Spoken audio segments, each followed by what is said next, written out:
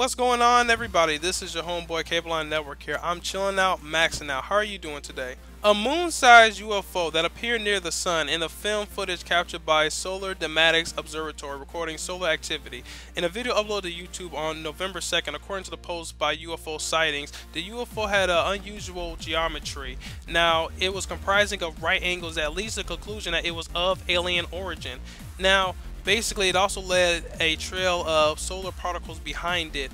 Now, the footage was of a large solar flare activity originally recorded in October of 2008. If the UFO is of alien origin, it will be a dramatic example of a Type 2 extraterrestrial civilization able to harness solar energy according to the Cavendish scale of the civilization technological advancement and I don't even know how to pronounce that. It was some type of word. I think I bit my tongue trying to pronounce that. But guys, link to the article in the description below. Go check it out for yourself. Now, this is actually unique. Now, a picture will pop up right now. Now, that picture basically details, you see, it's not as big as the previous UFO footage. It's actually a little bit smaller, which basically leads to the conclusion, it's about the size of the moon. I mean, there's an Earth comparison right up the top of there. Now, put in the comments what you think about this, guys. I'm interested to hear what you have to say. I'm gonna be legitimately honest with you here.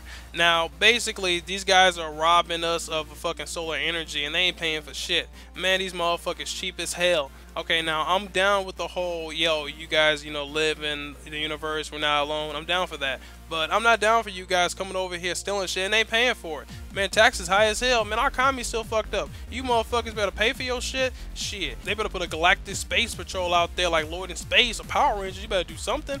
Hell, all that fucking energy they're stealing, man, I want my taxes to go down. That's some bullshit. Okay, guys. Talk to you later. This has been Cable Line Network here. Make sure to put in the comments what you thought about this and like this video for more. By the way, we are a YouTube network looking to partner YouTubers to make it big on YouTube. Link in the description below. Cable Line Network. The new revolution coming to you. Don't be individual. Be connected. Okay, guys. Talk to you later.